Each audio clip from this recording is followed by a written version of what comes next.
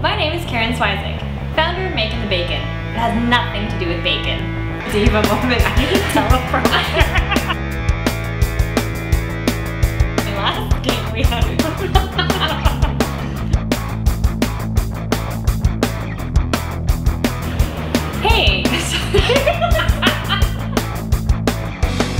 I'm gonna